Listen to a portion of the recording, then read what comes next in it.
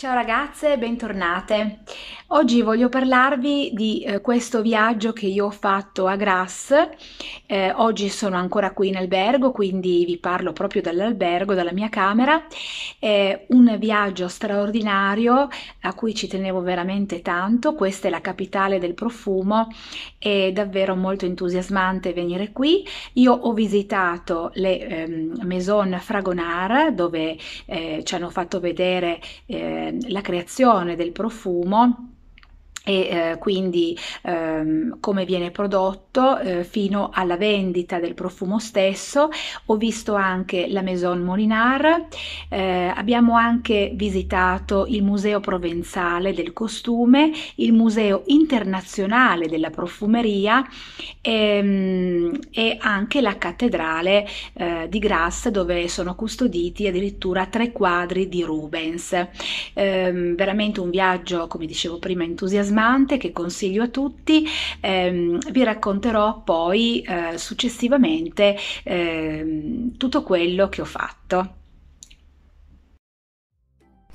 Grasse è una città in stile medievale di circa 53.000 abitanti, a 80 km dal confine italiano e a 16 km da Cannes. La coltivazione dei fiori occupa gran parte del territorio. Fu grazie alla regina Caterina de' Medici che nel XVI secolo introdusse in Francia la moda dei guanti profumati che si iniziò a produrre essenze. Oggi Grasse vanta tre profumerie importanti in tutto il mondo, Fragonard, Molinard e Gallimard. Ma cominciamo a visitare il Museo internazionale della profumeria. Jean-François Costa lo inaugurò nel 1975. Qui troviamo oggetti antichi legati alla storia del profumo. Questa è la cartina che rappresenta la coltivazione di fiori in Grasse. La raccolta della rosa e del gelsomino viene eseguita dalle donne avviene all'alba prima che faccia troppo caldo, con l'aiuto di cestini o ampi grembiuli. La distillazione a vapore e l'enflurage dei corpi grassi ormai estinti sono le due tecniche storiche di lavorazione delle materie prime. Prodotti sintetici arricchiscono la tavolozza del profumiere, fino ad allora composta da ingredienti naturali. Nascono così nuovi profumi come la vanillina e la cumarina. Questo è l'organo del profumiere. È appartenuto a Jean Carles, il creatore di Tabou di Dana e di Magrif di Carven, direttore della prima scuola di profumeria a Grasse e l'origine della piramide olfattiva. Nel XX secolo le aziende di profumerie si sono ingrandite. C'è la concezione del designer che valorizza il profumo sia per la concezione artistica che per la forma e i suoi materiali. La produzione delle fragranze è fatta in aziende di profumeria, dove vengono utilizzati sistemi automatici di dosaggio ad alta precisione. Negli ultimi dieci anni le strategie di marketing tendono a rendere il lusso accessibile a tutti. Fin dall'antico Egitto il profumo occupa un posto importante nei riti religiosi. Si usano composti odorosi per imbalsamazioni, fumigazioni e unguenti profumati.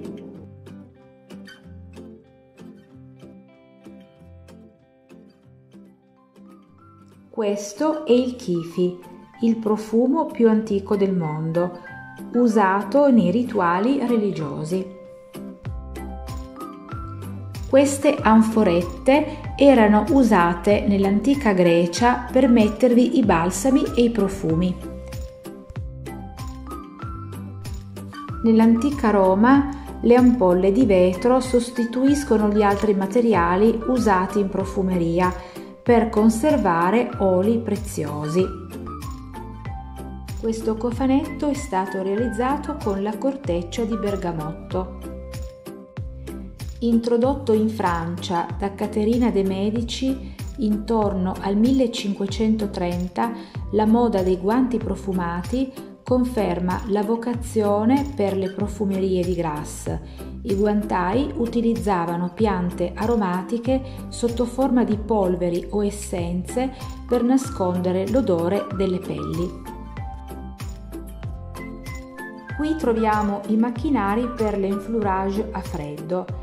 Scoperto a Grasse nel 1750, veniva usato per i fiori delicati come gelsomino e tuberosa, permettendo al grasso depositato su telai di vetro di assorbire le essenze senza rovinare i fiori. I fiori adagiati sul grasso venivano cambiati una volta al giorno per 40 giorni e poi messi nello sbattitore con alcol. Il grasso rilasciava il profumo all'alcol, questo veniva chiamato assoluto. Questa tecnica è stata usata fino agli anni 70. Nell'influrage a caldo invece i fiori meno fragili vengono macerati con sostanze grasse scaldate a bagnomaria.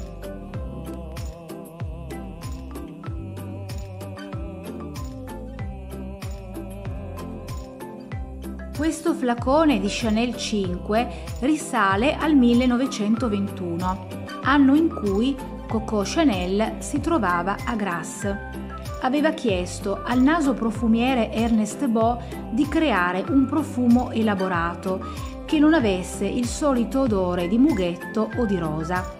Ernest Beau le presentò dei campioncini numerati dal numero 1 al numero 5 e dal numero 20 al numero 24.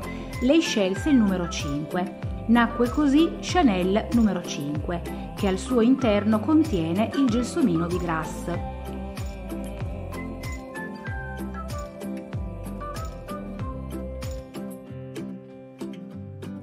All'esterno del museo c'è la statua che rappresenta l'abito del profumiere con tutti i suoi attrezzi da lavoro.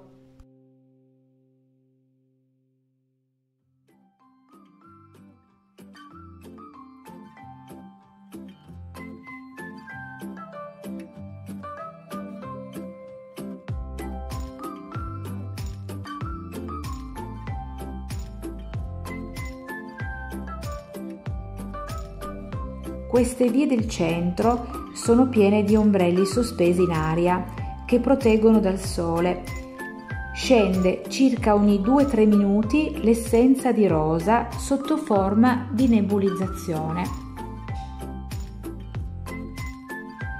Nel centro di Grasse possiamo intravedere la Maison Fragonard, dove avviene la creazione del profumo dalla fabbrica alla vendita in negozio.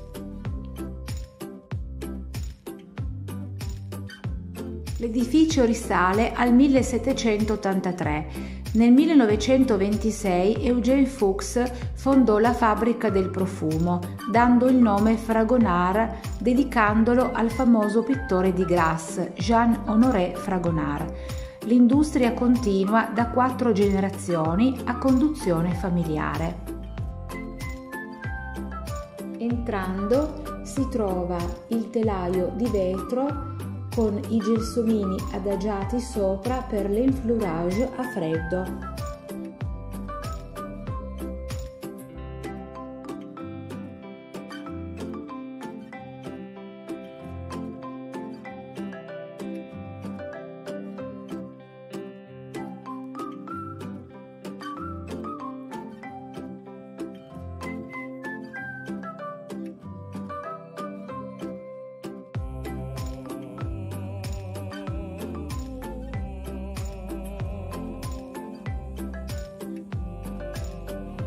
La cartina illustra la provenienza delle materie prime per realizzare i profumi, provenienti da tutte le parti del mondo. Per esempio in Italia si produce l'iris, il mandarino e il petit grain, in Francia gelsomino rosa e tuberosa. A destra abbiamo la macchina per la distillazione. Qui vengono messi i fiori con al fondo l'acqua che è portata a ebollizione. Evaporando trasporta le molecole olfattive, si raffredda, si condensa, l'olio dell'essenza rimane a galla e l'acqua al fondo. Infine si separa l'olio dall'acqua e si ottiene così l'essenza profumata. In sostituzione dell'enflurage a freddo, oggi la tecnica moderna utilizza il solvente. Qui siede il naso profumiere per comporre la sua fragranza. Occorrono circa dalle 20 alle 250 essenze. Nella parte più alta ci sono le note di testa, quelle più leggere. Nella parte sottostante le note di cuore e infine in basso le note di fondo, quelle più persistenti. All'interno della fabbrica Fragonar c'è la profumeria.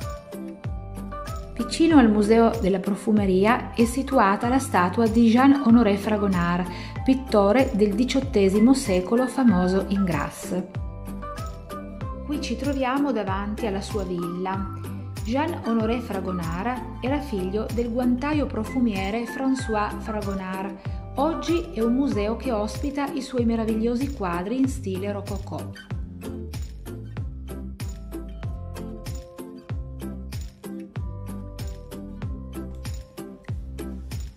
Qui ci troviamo davanti al museo Molinar.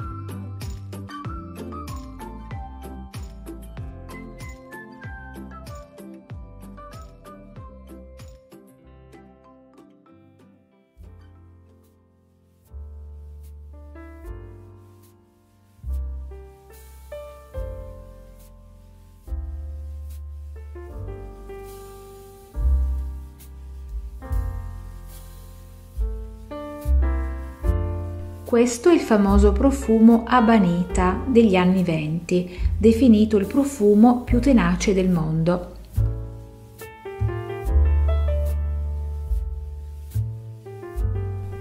Qui siamo nelle profumerie Molinar.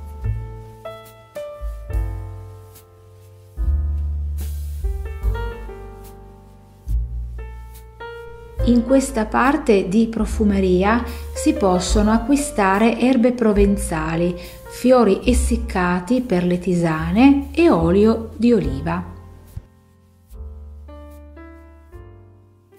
Nel centro della città è situata la cattedrale Notre-Dame de Puy in stile architettonico romano, che risale al XII secolo. All'interno sono custoditi tre quadri di Rubens e uno di Jean-Honoré Fragonard.